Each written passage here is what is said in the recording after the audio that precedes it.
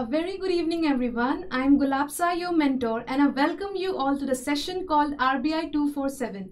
In this very session, we'll cover important finance related current affairs through quizzes and we'll also discuss key concepts related to finance. So let's get started. But before that, we have some information for you guys. The first is that we have launched the complete crash course for the upcoming RBI examination for both phase 1 and phase 2. Right now it is available at a massive discount. For further information, you can visit our website. Apart from that, we've also launched a special series known as the descriptive writing course. This will help you better prepare for the phase 2 of RBI examination, right? For phase 2 of RBI examination. Also, you can download our app for any exam related updates, live video sessions, monthly GK, daily quizzes, right from Play Store. In case you need a free PDF of today's session, you can get it by joining our Telegram group. All free PDFs are uploaded right there. So let's get started.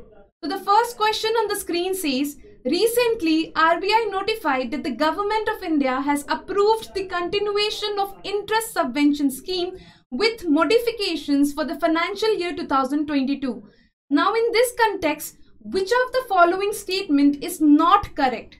So the first thing which as a student we need to do is to identify whether we need to find the correct or the incorrect statements. So it says we need to find the incorrect statements. The statement given to us are First, the interest subvention will be 5% per annum to lending institutions in order to provide short-term crop loans and short-term loans for allied activities.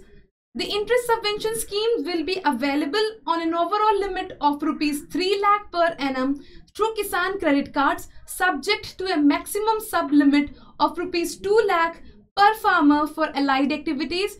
Third, the interest subvention scheme is implemented by RBI. Now why I've taken this question is because recently RBI in one of its circular has notified that the government of India has approved the continuation of subvention scheme for short-term agricultural loans and other allied activities loan availed through the Kisan credit card. Now what is this interest subvention? Interest subvention as you know these are loans which are given to the farmers at concessional rates right? These loans will be provided to farmers at concessional rates under which there are some modifications as notified by the government of India. One of which is that the interest subvention will be 2% per annum to lending institutions who provide loans for both short-term crop loans as well as short-term loans for allied activities. These allied activities includes anything related to farming, commercial farming, animal husbandry, horticulture, etc. Right? So what the what the government is saying is that the farmers will be getting a loan up to an overall limit of rupees 3 lakhs at the concessional rate right? At concessional rate for which the lending institutions will be getting a 2% subvention. Now how is this 2% calculated? Now this is calculated based on a time period which is of a maximum of one year right this time period will be a maximum of one year for calculating the interest subvention starting from the date the, the loan is disbursed, right?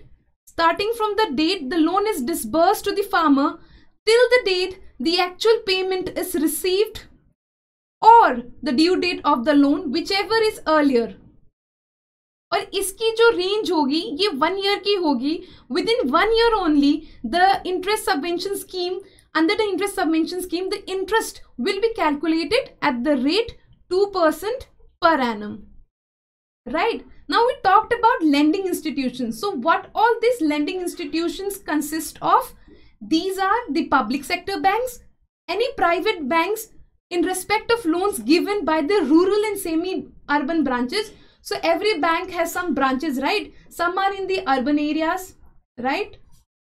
Others are in rural or semi-rural areas. So those private banks who have their branches in the rural and semi-urban areas, they are also considered as a part of the lending institution.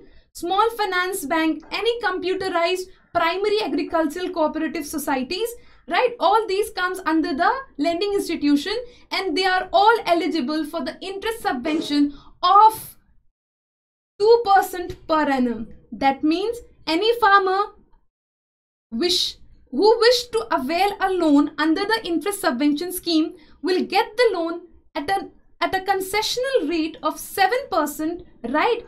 For which the government of India will be paying the lending institution an interest subvention of 2%.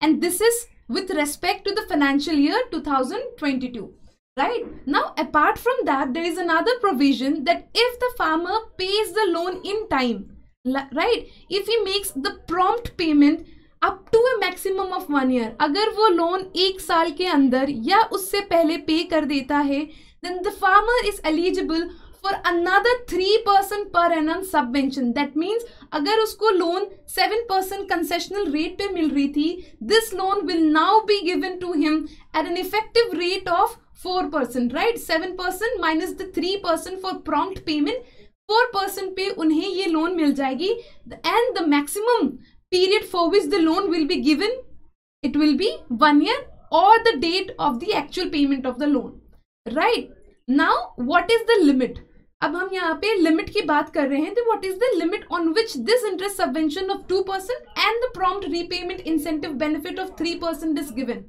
right so let me explain you right? So what happens is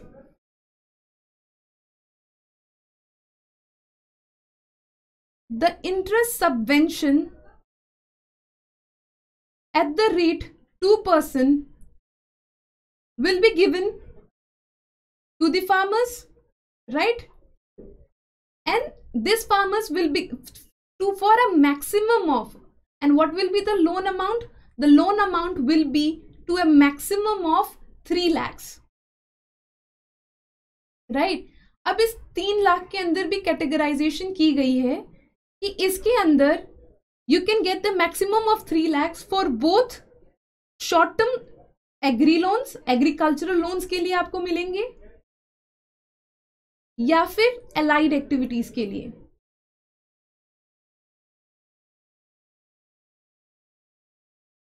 right? और इन दोनों को मिला के जो आपको loan मिलेगा, वो मैक्सिमम थ्री लाख की मिलेगी। However under the allied activities इसका ये मतलब नहीं कि आपने थ्री लैक्स यहीं ले लिया। ये एप्लीकेबल यहाँ नहीं होगा।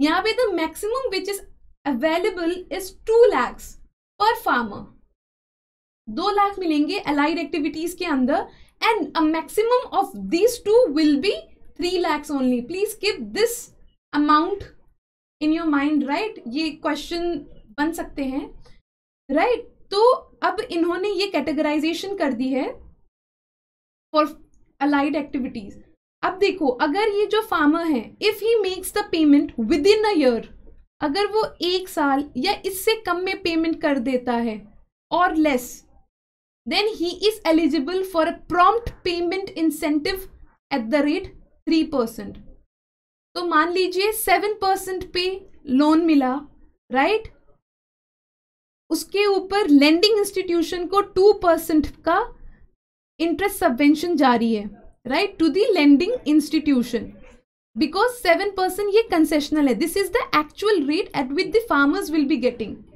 ये मार्केट रेट नहीं है, ये कंसेशनल रेट है.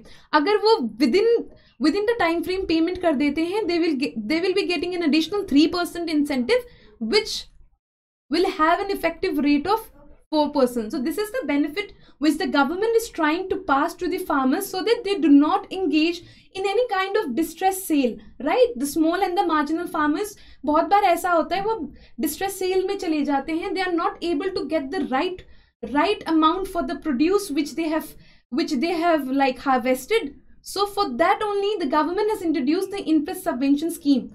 The other features of the scheme says in order to discourage the distress sale right suppose किसी साल डिस्ट्रेस सेल हो रही है फार्मर्स को वो अमाउंट नहीं मिल रहा है which is rightly required for the produce then then the government is willing to to extend the loan for a for a further period of six months provided that the farmer produces the negotiable warehouse receipts where he has kept the produce, right? ek saal ka mil raha tha plus 6 months. So the person, the farmer will be getting the loan for 1.5 years at the concessional rate of 7% provided he needs to submit the negotiable warehouse receipts on the produce that he has stored in the warehouses aggregated to the Warehousing Development Authority, regulatory authority.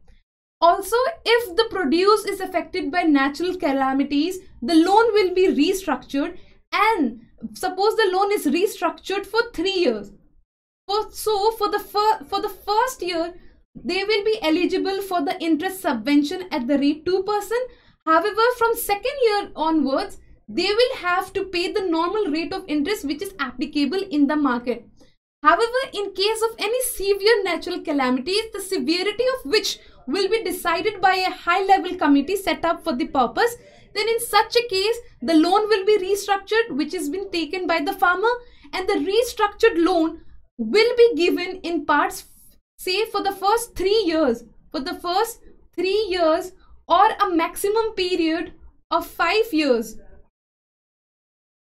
First three suppose loan आठ साल के थे right right? आठ साल का loan था farmer का जो रिस्ट्रक्चर किया गया है तो उसके फ़र्स्ट थ्री इयर्स का या to a maximum of five years ये लोन एंटायर पीरियड जो कि फाइव इयर्स की मानी जाएगी, ये आपको कंसेशनल रेट पे मिल जाएगी right at the rate seven percent on which the lending institution will be getting two percent और जो बाकी के ईयर्स बच गए सपोज़ अगर हम पाँच साल लेते हैं, जो तो थ्री इयर्स बच गए हैं, उस पर उनको नॉर्मल रेट ऑफ़ इंटरेस्ट पे करना पड़ेगा।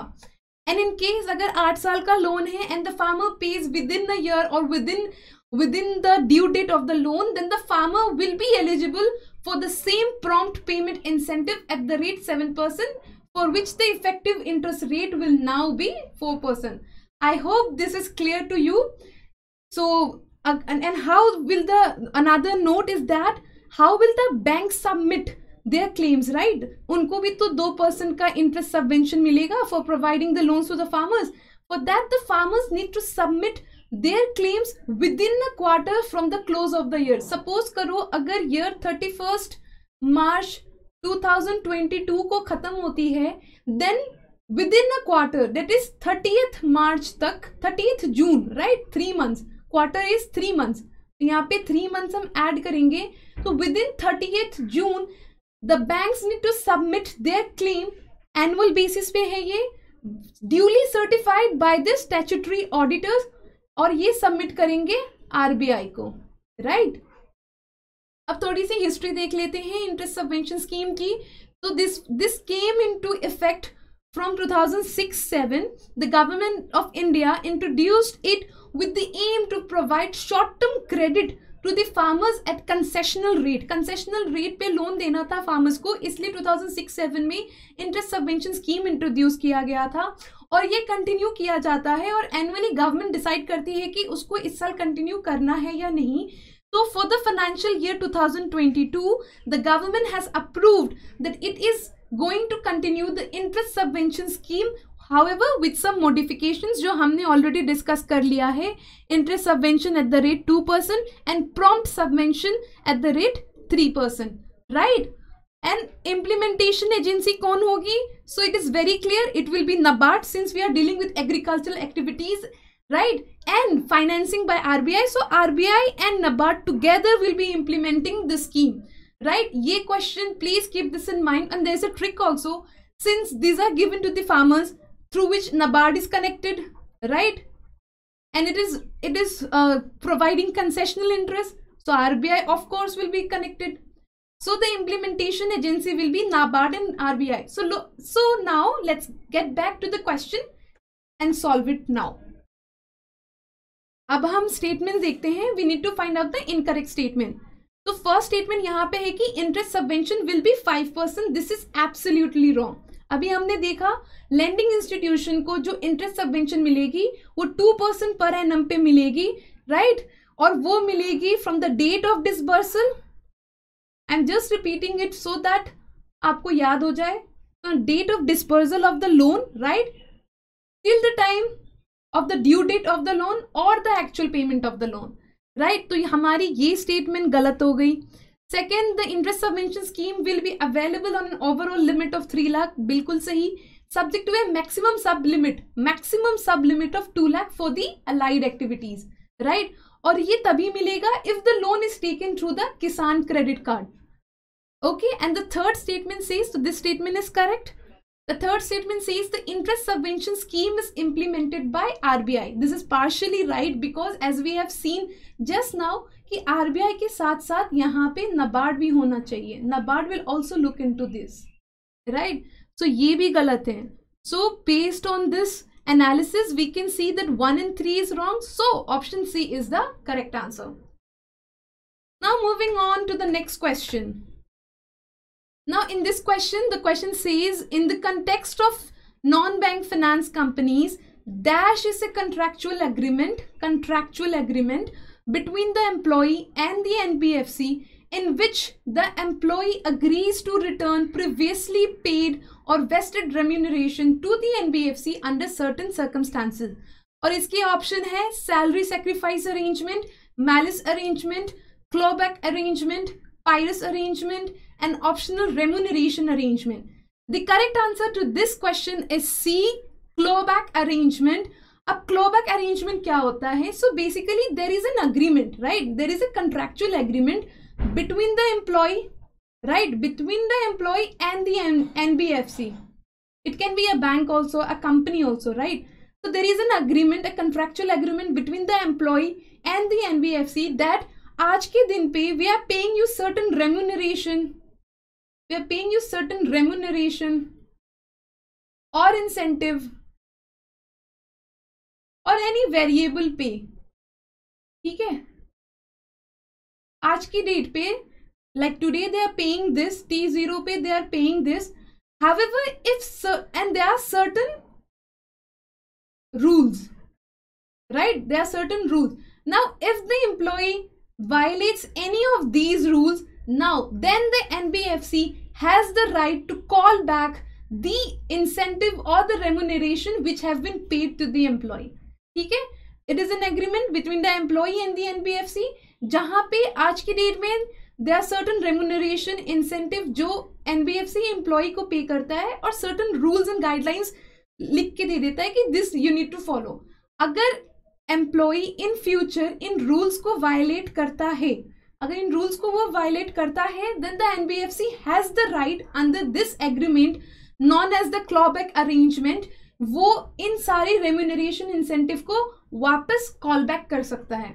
Now I taken this question because RBI ने एक गाइडलाइन इशू की थी, जिसके अंदर क्लॉबैक अरेंजमेंट और मैलिस अरेंजमेंट के बारे में डिस्कस किया गया था।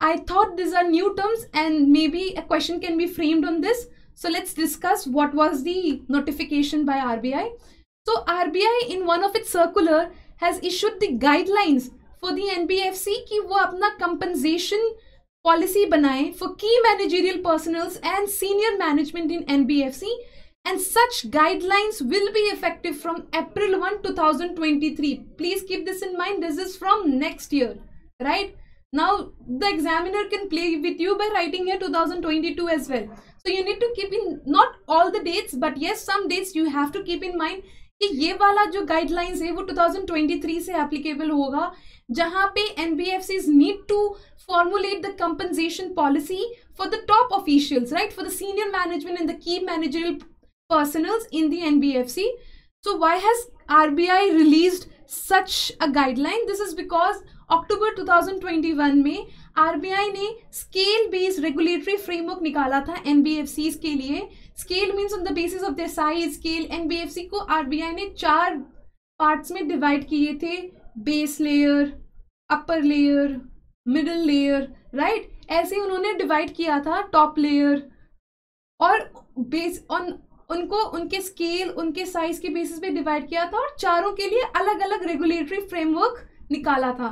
This has been discussed in the April document the weekly document you can go and check it out there right वहाँ पे साइज़ मेंशन है कि कितने suppose one thousand and above है तो कौन सी कौन सी कैटेगरी के अंदर वो एनबीएफसी आएगी, कौन सी लेयर के अंदर आएगी? So please check the document right तो इसके अंदर under the S B R framework RBI ने कहा था कि it is going to put some guidelines which the board of the NBFC needs to follow to to formulate a compensation policy for the top officials and why why the government or why the rbi is uh, issuing the guidelines this is because there is a misalignment between the compensation packages this top officials are getting and the work they are doing क्या होता है top officials पे जो officials होते हैं they did not they do not have to worry about the salary or the remuneration which they are going to get right तो कई बार क्या होता है दे ऑफन एंगेज इन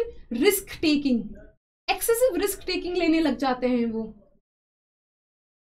जिसके कारण they are losses they are NPAs right तो इसको regulate करने के लिए आरबीआई ने ये गाइडलाइंस निकाला है कि कंपनसेशन पॉलिसी ऐसा बनाओ which is in accordance that the top officials do not take excessive risk which in the future is harmful for the NBFC right अब ये जो गाइडलाइंस निकले हैं, ये कौन से लेयर के लिए निकला है for the NBFC so this is applicable to all the NBFCs apart from the NBFC which is in the base layer. Please refer the April document. It is clearly mentioned in detail, right? And any NBFC which is owned by the government. So these two are excluded. They are not required to follow the guidelines for fixing the compensation policy of the top officials. Now what, what will be the constituent of the compensation policy? So the compensation policy at the minimum, this is the minimum which, which the RBI is issuing. It will have the constitution of a remuneration committee, the principles to fix, the principle to set up the fixed and the variable pay structure, as well as any malus or clawback provision. We'll discuss this in we'll discuss this in the upcoming slides, right? And also RBI has said that the, the, that all the NBFCs apart from the NBFC in the base layer and the government owned NBFC need to comply with the provision with the guidelines that the RBI has issued. अब की guidelines देख लेते हैं in in detail. So the first was constitution of a nomination and a remuneration committee, right? So the board of the NBFC has to formulate a nomination and the remuneration active uh, committee or ये जो committee होगा it will it will have the power the function and the constitution as specified by the companies act under section 178 the companies act के अंदर section 178 के अंदर it has described the, uh, the constitution, the power, the function, the duty of the NRC committee for a company. The same provision will be applicable to this and to the NBFCs as well. What will be the function of the NRC? The, uh, uh, the nomination and the remuneration committee. The NRC will work in close coordination. It will work in close coordination with the risk management committee, right?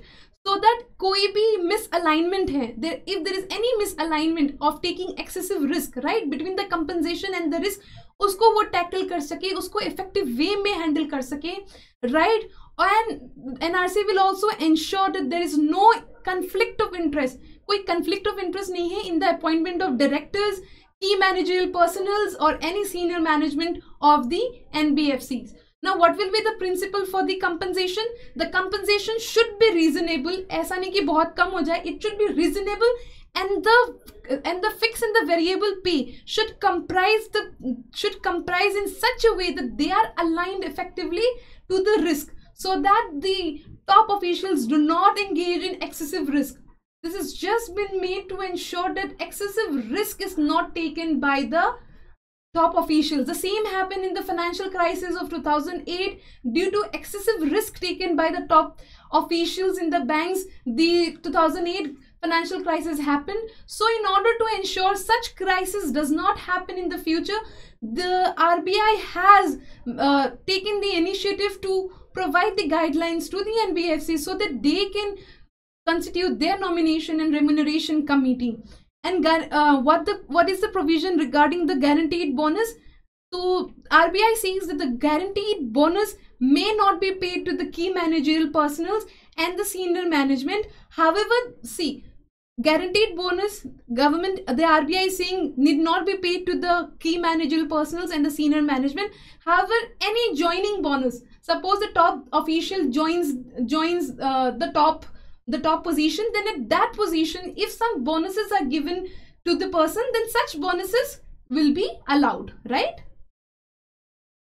Now, uh, talking about the malus and the clawback arrangement, so what happens is in दोनों के बीच sometimes people uses interchangeably similar मानते however there is a minor difference the difference is that clawback as we have discussed यहाँ पे ये होता है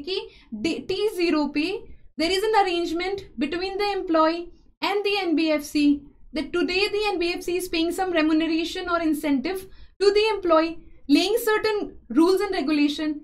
If in future the employee violates any of these regulation then the NBFC has the right to take back to take back the give the previously paid remuneration to the employee right? However under the malus arrangement it permits the NBFC to prevent vesting all or part of the amount of a deferred re uh, remuneration. Malus arrangement में क्या There are certain remuneration or incentive or bonuses, you can say anything, जो defer हुए होते हैं time Like they are to be paid, they are to be paid, they are to be paid in a future date.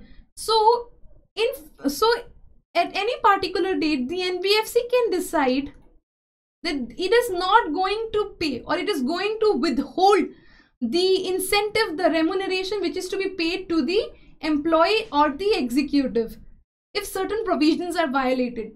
इसमें क्या होता They have paid it already, right? In clawback arrangement, the incentive is paid already in future the nbfc has the right to call back the remuneration which is being paid however in malus arrangement there is a deferred remuneration which is not paid they are they are eligible but they are not paid right the executive and the employees are not paid uh, and the NBFC has the right to withhold such remuneration, right, if certain provisions are violated. So this was all in the news. I hope the question was clear to you.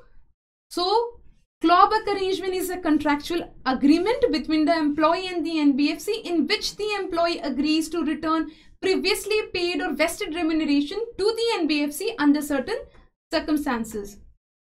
Now, moving on to the next question. The question says that the 595th meeting of the Central Board of Directors of RBI was held on 2nd May 2002, 2022. I, I hope you all are aware of this news. And in this meeting, whose nomination was approved as the ex officio member of the Monetary Policy Committee. So they are asking ki kaun nominate hua tha for the ex officio member of the Monetary Policy Committee. The options are Ajay Seth, Dr. Rajiv Ranjan, Mridul Sagar, S. Gurumurthy and Dr. Rajeshwar Rao. So this is a very easy question. I hope you know the answer. The correct answer is B. Dr. Rajiv Ranjan. Dr. Rajiv Ranjan nomination was approved by the Central Board of Directors of RBI as the ex officio member of the Monetary Policy Committee. So who who who did Rajiv Ranjan replace? So Rajiv Ranjan has replaced Mridul Sagar who was reported to retire by the end of April 2022. In place of him, Dr. Rajiv Ranjan will be heading as the ex officio member of the MPC, of the Monetary Policy Committee. Right? The approval was announced in the 595th meeting under the chairmanship of Dr. Shaktikanta Das. As you know, he is the governor of RBI, right? and Dr. Ranjan has been associated with RBI for the past 33 years. He was also recently appointed as the head of the Department of Economic and Policy Research, right? Which is an important monetary policy and research function of RBI. Um, Ajay Seth is the secretary, right? He is the secretary of the Department of Economic Affairs and Dr. Rajiv Ranjan will be replacing Mridul Sagar. Right? Now talking a little about the Monetary Policy Committee, as we all know that the central government has empowered to constitute a six-member Monetary Policy Committee. The Monetary Poli Policy Committee will have six members, right? Three will be internally chosen by RBI and three will be chosen by the government of India right now uh, from the three from the three which will be a part of RBI will be one first will be the governor right the governor will be the ex officio chairperson. Right now it is Shakti Kanta Das. The second member will be a deputy governor, right? He will be the deputy governor. He will be the in charge of the monetary policy. And the third will be an officer of the bank to be nominated by the central board. So Dr. Rajiv Ranjan has been nominated to this post, the third internal member which needs to be appointed by the RBI, right? And the rest three persons will be appointed by the central government. Now, the categories under which this three person will be appointed will be the persons of ability integrity standing having knowledge and experience in the field of economics banking finance and monetary policy right and what is the work of the monetary policy the monetary policy is vested to determine the policy rate which is required to achieve the inflation target and all targets and all other rates which are, which are dependent on the policy rate. Right now there was a news that the policy rate has been increased by 40 basis point to 4.4% presently, right? To cater inflation, the, the Monetary Policy Committee has increased the policy rate by 40 basis point. Okay. And the decision of the Monetary Policy Committee shall be binding on the bank. So after the increase in the uh, repo rate, the policy repo rate, banks have been increasing their lending rate so that they can control the excess money, the excess liquidity, the excess liquidity in the market in order to curtail inflation. Right? As we all know, the next meeting of the MPC, MPC is scheduled to be held during June 6 to 8, 2022. The other members of MPC are Shashanka Bhide, Ashima Goyal, Jayant R. Verma, Mridul K. Sagar. Now this will be replaced by Dr. Rajiv Ranjan. Right? Dr. Michael Deb, De, Debabrata Patra and it will be headed by the chairperson who is the RBI Governor Sri Shaktikanta Das. Now moving on to the last question of today's session. The question says recently in news a Chennai based public sector lender launched its first digital product launched its first digital product called pre-approved personal loan PAPL under its project Wave now in reference to the above statement, which of the following is true? We need to find out the correct statements regarding PAPL. And the bank, it is a public sector bank which is Chennai based. The statements given to us are PAPL will provide instant loan disbursement in three simple steps to its customers. Second, the product has been launched by Indian Overseas Bank which can be availed via Ind Oasis mobile app bank's website and internet banking facility and at present the loan carries an interest rate of 10% per annum with foreclosure charges. Now we need to find out the true statements. The correct statements, the option given to us are that either statement 1 is only correct, 1 and 2 is correct, 1 and 3, 2 and 3 or all 1, 2 and 3 are correct.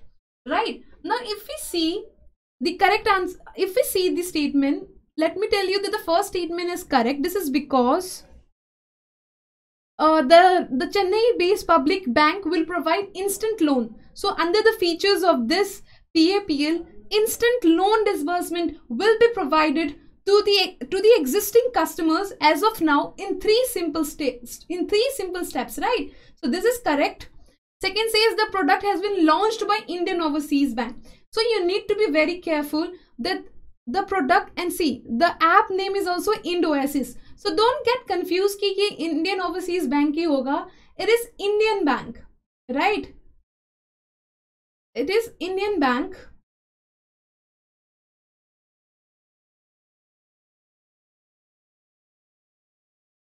It is Indian Bank, right? And one more thing in common, जो Indian Overseas Bank है और जो Indian Bank है, they are both Chennai based bank. However, the trick here is that the public sector bank which is providing the PAPL, the pre-approved personal loan under its project WAVE is not Indian Overseas Bank, but it is Indian Bank, right? So statement 2 is incorrect. The third statement says at present the loan carries an interest rate of 10%. This is correct. However, the mistake is here with foreclosure charges. This is wrong. There is no foreclosure charges. There is no foreclosure charges. Then what are what are these foreclosure charges? That means suppose a person has taken a loan for 3 years. I'm taking a hypothetical example. And if the person has the money and he he is willing to repay the loan within a year right?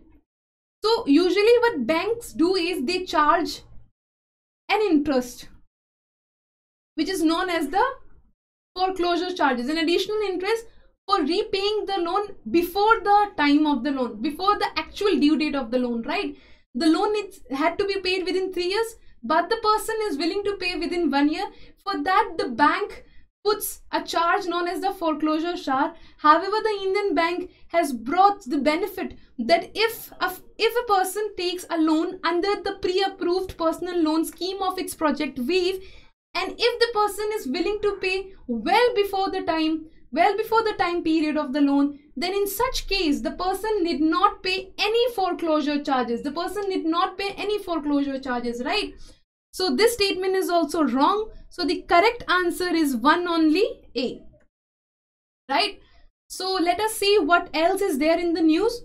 So as already discussed, the Indian Bank, which is a Chennai based public sector bank, has, law, has launched its first digital product known as the pre-approved personal loan under its project wave ठीक है project wave जनवरी 2022 में launch किया गया था और ये digital product मई में launch किया गया है। The utility of the pre approved personal loan will be to provide instant loan in three simple steps and right now it is available only to the existing bank customers right in future they may expand to other customers as well but right now it is available to the existing bank customers which can be availed through their mobile app IndOASIS, their bank website or through internet banking facility the interest ca will carry the loan will carry an interest rate of 10% per annum However, with no foreclosure charge, this is the benefit which Indian Bank is providing for the pre-approved personal loan. Right? I have also described what foreclosure charge is all about. It is a prepayment penalty, right? The name the name is only is only very clear that the prepayment penalty will be imposed on a person who pays the loan before the closing of the before the closure of the tenure of the loan, right? currently existing customer ke liye available hai aged 21 years and above and then the PAPL also comes with the flexibility to opt for a loan tenure between 2 years to 4 years right 24 to 48 months with the ability to prepay it without any foreclosure charges. So this was all for today. I hope you liked the session. Thank you. Have a nice day